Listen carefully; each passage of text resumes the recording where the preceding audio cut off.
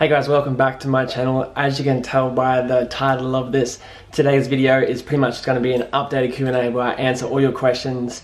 Um, I put a question thing up on my Instagram and have asked you to ask me some juicy questions, some different questions, all the things that you want to know about me that you probably haven't heard before or I haven't said anywhere on my social media. And before I actually get into it, I just wanted to put a little part in here. Um, as I'm from Australia and I don't know if any of you guys know if you might be overseas, we're currently going through a bit of a rough time in Australia. Um, the droughts have been super bad, obviously with the climate change. We've been averaging like 40 plus degrees per day, and obviously our country has been completely ravaged with fires and wild bushfires. It's so sad to see. I saw an update this morning on an article that we have lost close to a billion animals in these bushfires. Um, it's something over like 2 million hectares um, of land that has been destroyed by the fires. If you haven't seen anything about it, I'm going to put a link down below where you can see more about it, read more about it. And also down below, I'm going to put a few links where you can donate um, to different charities, foundations, basically to all the firefighters, all the people affected, uh, to wildlife rescue places. So please, if you can, please donate to the links below. And obviously, we really appreciate any donation. Um, this is literally like the craziest thing we've ever gone through over here and it's so warm and so nice to see everyone coming together raising money. And obviously, I want to just do my part to try and spread the awareness about this and try and raise some money for those people that have been affected, all the animals and everything. So, yeah, I just wanted to add this little part in before I get into the rest of it. But yeah, pretty much it's all going to be in my description below if you want to take a look at it. Um, and again, thank you so much in advance. But let's go into the rest of it now. So yeah, as I said earlier, I pretty much have put an Instagram thing up and ask everyone to ask me some questions. I asked a few of my friends for some random questions that I feel like that everyone would love to hear and all that kind of thing as well. So let's get straight into it. So first question is, did I always want to do what I'm doing now? And that's a bit of a hard question because I guess like growing up, I never had, I was around when there was no social media. Uh, even when I was like like super young, like even just coming into teenage years, my parents well, I don't think my parents even had mobiles. Like mobiles haven't been around for that long, and obviously now I'm 27. Um, yeah, they didn't have that kind of stuff. So I didn't always want to be like this. Um, I guess going to high school and stuff, there still wasn't anything like this. I guess we all kind of looked up to the big celebrities, actors, and then sports stars. So um, I guess there wasn't anyone like what we do in social media. I guess doing what I'm doing now back when I was younger to look up to. So I never planned this. I never thought I'd come into this. This is a completely random thing for me. Um, I always wanted to own my own business and work for myself. That was one of the big things that I always wanted to do. So I guess that side of it, yes, it's something I always wanted to do. And I'm so glad and I'm so appreciative. And it's really motivating to work for yourself and and do that kind of thing. So yes, that part I am super appreciative. Next one is, are you and Maddie moving in together when her lease is up? And what is Caitlin, her housemate, going to do? Well, we haven't really spoken about that. Maddie's lease, I think right now actually, is probably due. But um, I'm pretty sure she's going to renew it for maybe like another 6, 12 months. Not too sure. That's completely up to her. But we're in no hurry right now. Like, obviously, we spend a lot of time together. I feel we'll definitely live together uh, later on. But we're not rushing things. Like, we spend nearly every day together. We work together and all that kind of stuff. And while we're young, I feel like it's just really good. Like she has the perfect housemate, her best friend, who I love as well. She's the best. And um, I guess while you're young, you just want to experience it and live with your friends. So it's good. It's a good way for us to have our own spare time with our friends uh, and just experience like being young still. So we definitely will move in together, but at the moment we haven't planned anything. Oh, this one's a good one. What have you changed from past relationships to making this one healthier than others? Uh, I'm not too sure. I feel like it's more towards being suited to a certain person um, than really changing anything to going into like a new relationship. Obviously, when you're super happy and you're happy with how your life is, you're happy with how the per- person is, and obviously when you're, what's the word in, more compatible to a certain person, I think it just works better. And that's obviously the case with Maddie and I. Um, obviously, there's no problems or anything in my last relationship that um, I don't have any bad blood or anything like that. It's just with different people, and yeah, pretty much it's just someone more compatible, and that's and we worked that out. Um, and that's why obviously everything was so civil when we split, all that kind of stuff. So there's nothing really, I guess, that has changed. Like all obviously, uh, I always try and make myself a better person no matter when it is. Uh, so obviously going into a new relationship and stuff like that, I always want to continue to make myself a better person. And when you meet someone that you're so compatible with, you always want to be a better person for them as well. So I guess they're the things that I guess you could be saying you do change a little bit. We're just so compatible and kind of like best friends. It just makes it so good. Also, I just wanted to flag, not sure if you can hear in the background, but Pav is snoring his brains out. He's kind of just sitting here next to me, but he's the cutest thing. He's literally just like dangling his head over his bed, and it's so funny. Hey, wake up, brother. Try and film a video. Okay, so this is a good one. So it says, what age would you like to be engaged and have kids? So this is a one, another one that I guess a lot of people always ask. And I'm not too sure. This, I've never really put like an age bracket on it. When I was young, I always thought I would love to be a, like a young dad. Um, because like I saw my parents growing up and all that kind of stuff and it just I loved it. And obviously like they've been together. I think it's just gone over 33 years now. Um, and just seeing that so inspirational as well. But uh, I feel like I'm always going to be like a young person. Um, like young person when I say that I mean like healthy. I love to get out and be active and stuff like that. So I've always just wanted to be one of those people that's a really active dad, a really active parent, take my kids out and be able to like play sport all the time and just be out there and be a kid with them again, I guess. Like have fun with them. So as long as I can still do that, that's so fun. Ah, he's so loud. But um, I guess now, like looking into it, like I don't know, like 30 would probably a good good age. Obviously for a guy, it's a bit easier. But yeah, pretty much just want to be able to be in a, like completely stable and being able to bring someone into the world with a like a stable, like healthy relationship and that kind of thing. I feel like that's the most important thing to me. Someone said, "Do you like Dumb and Dumber?" I guess they're trying to take out my new haircut, my new hairstyle. But you know what? I don't even care what you think. Have you had any cosmetic injections? So, um, yes, I have. I get my jaw. Um, I think it's called your masseters. So this is a problem that I have with my dentist. My dentist does this. So he puts Botox in my jaw muscles here, basically because because I clench when I sleep. So basically what happens is if you get the masseters done, which is the Botox injected in here, it basically relieves these muscles here. I guess it does kind of slim your face. I haven't done it for that reason though. Um, mine is because when I clench my teeth at night time, uh, I wake up the next day feeling like I've been punched in the face. And obviously, when you're clenching your teeth so much, it's not very healthy for your back teeth. Also, from that though, um, I have had um, an injection, like the injections into my forehead, basically to prevent me getting wrinkles. This was, I think, the last, I think I got it like a year and a half ago. And basically, because my metabolism is so fast, it lasted about three, three to four weeks. So, you know, I was getting facials and stuff like that to look after my skin. She said that as basically like a pre preventative, so when I'm older, I don't get huge wrinkles and stuff like that. Um, but yeah, each to their own. I don't care. I'm happy to share whatever I've had done.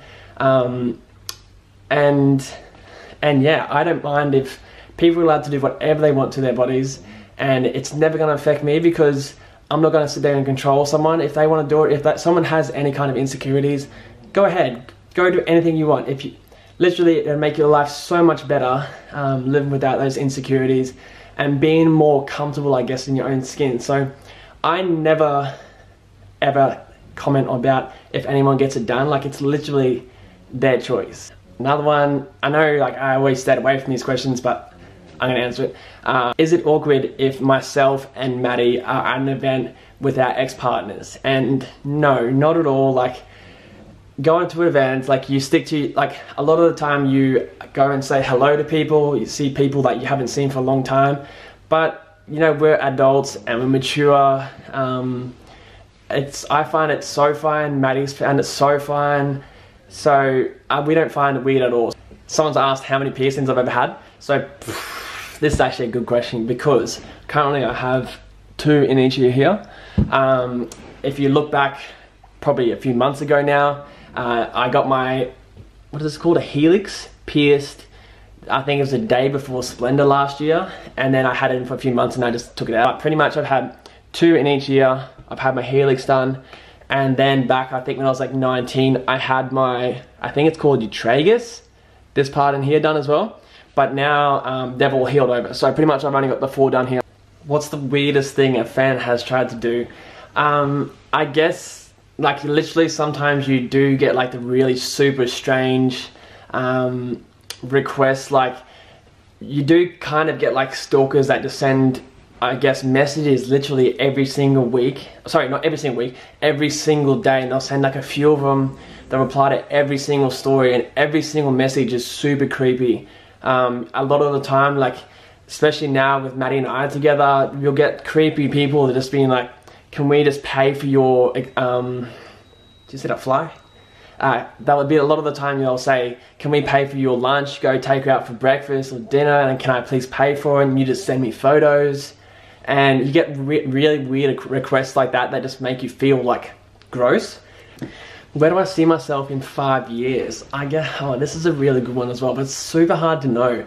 Um, I have so many things that I would love to do, like I've always wanted to do, uh, like things like live overseas for a bit, or again, like I would love to live in Melbourne. Obviously now I've moved down to Sydney and that was one of the things I always wanted to do as well. It's been the most amazing thing that I've done, um, especially work-wise and things like that just networking and just branching out and I love doing new things, putting yourself out in new experiences, um, putting yourself out of like your comfort zone and stuff like that. That's something that I like love to do. So living overseas for a bit would be something I'd absolutely love to experience.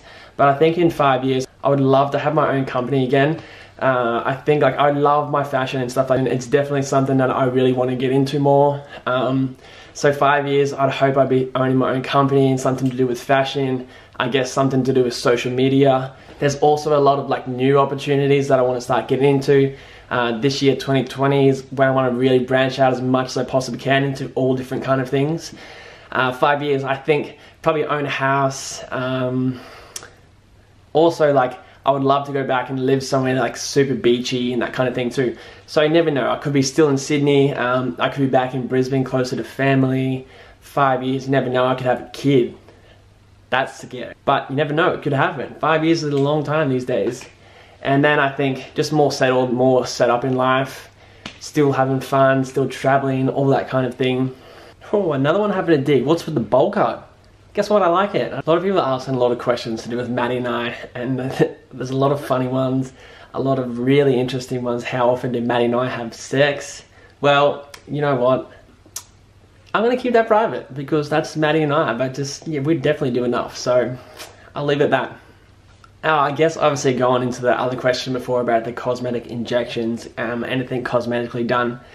Another thing that I think a lot of you have probably seen, if you haven't seen the video previously, I have also had my teeth done, so I do have porcelain veneers, and that was literally probably the best thing I've ever done in my life. Um, that just changed so much more um, with my self-conscious um, and being comfortable with my smile and just being so happy. Like literally, people comment on my Instagram now and be like, "You don't have to smile in every photo." It's like literally that's just me. Like I, I love my teeth. I want to show them off as much as possible, and yeah, I could not thank my dentist anywhere near enough. It was I just the best thing I could ever recommend doing or anything like that. It was just the best experience, the best thing I've ever done in my life. So complete smiles down in Sydney. If you ever need anything done, um, if you like the look of these, if you want to just chat, go and send a message. They're in my description box in every video. Um, the guys are like the nicest people ever, and yes, could not recommend it any more highly. But that's the only other thing I've had done. This is kind of, this is a good one. This is a bit of a change of mood, but still, um, like how do you get out of a dark hole? And um, have I ever been through like hard experiences? Obviously, I've never really spoken about it, and I never really, I kind of always kept to myself. But like, there is hard days. Everyone has hard days. I admit it. I'm not gonna try and hide things like that. I've been through some pretty rough and shitty times um, that have been on social media, that have been off social media, that people have known, that people haven't known and stuff. You know, I've had times where it's been a really hard month, or I've had days where I didn't want to get out of bed, or just things like that. So I'm not gonna say like I have been diagnosed with it because obviously I haven't. I've never spoken to someone about it, any of that kind of stuff.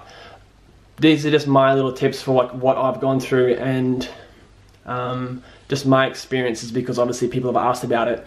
But really is just I just really wanted to determine the things that like made me go and not want to get out of bed, um, that really triggered the harder times. Uh, people, it could be people, it could be events, it could be um, drinking, it could be like anything. The next day after drinking, partying, all that kind of stuff, and really just try and limit that. Also, on top of that, then you also need to try to find the things that help you not be that, make you feel more healthy and um, motivated and, and just in a happier place and stuff like that. Once you do find those things, for me, it was gym. Um, gym was a massive thing. You know, going and sitting on the beach, waking up, having the right attitude as soon as you wake up instead of getting straight onto your phone. You know, have a think um, and just kind of have a minute to yourself and just think about things and think what you're happy for and think about the good things. Say you're going to have a good day because literally, once you say that, you literally do. And then if things aren't going that bad, like go to your happy place, go to your gym, go for a run, go to the beach, um, whatever your happy place is, just take some time. It may take five minutes, 10 minutes, the tiniest little time, and then just reset yourself. And when you do that, you'll feel better. Take your time to yourself. Like, no one's ever going to complain if you do that. So that's one of the big things. And once you do those two things, I feel like it really will change it. Change change things in your life. You know, try something, work out, uh, try running, and try going to the gym. That was massive for me. When I go to the gym, I feel so much better. I feel my brain. I feel motivated. I feel motivated for not just um, in training and stuff like that, but my brain. Like I want to go out and I do do so much more work.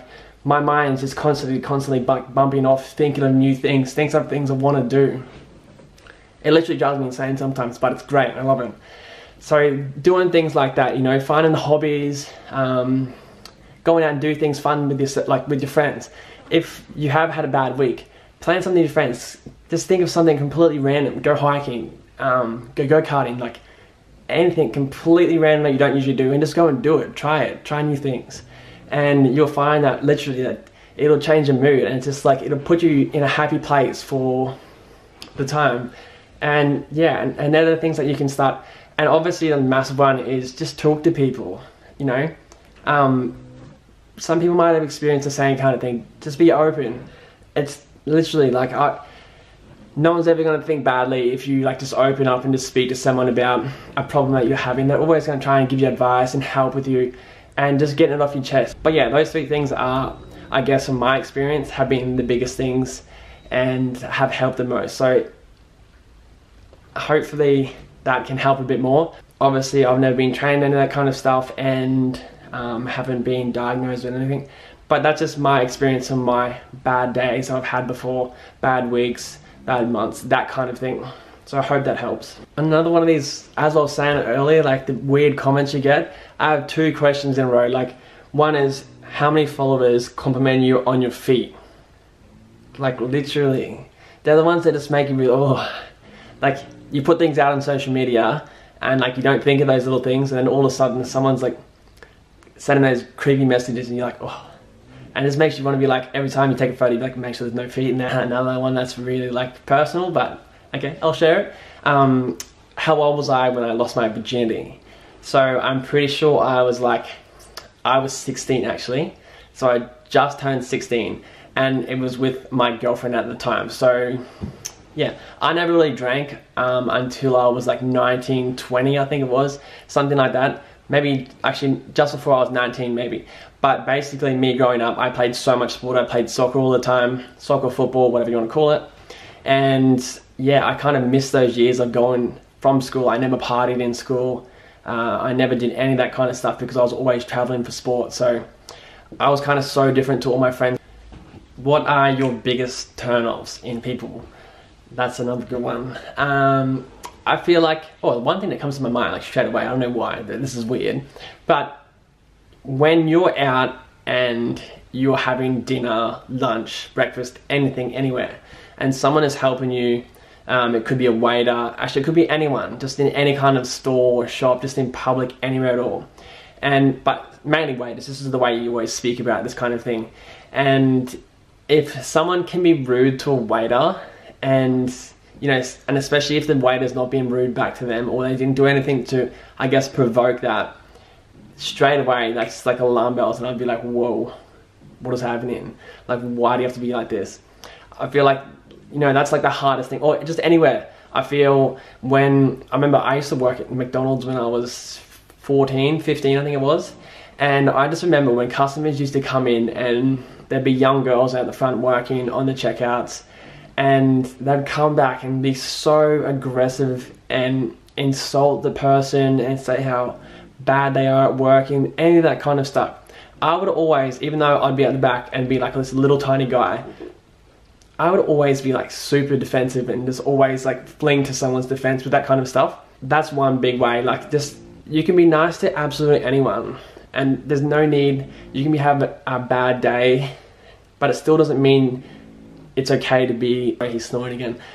It still doesn't make it okay to be nasty to someone. Just be nice. Just spread happiness. Tell someone to have a good day. Those little things could, if someone's having a bad day, they're the things that could change it and put it into motion into having a better day. So spread more positivity. Oh, another good one, another personal one. Have I ever sent a nude or a picture of myself like nude? That's no. I can happily say that I never have done that. Um, it was just one of those things. Like I, my mum always drilled like just common sense and stuff into our heads, and all that kind of stuff. So that's definitely something that I have never done. I never would do.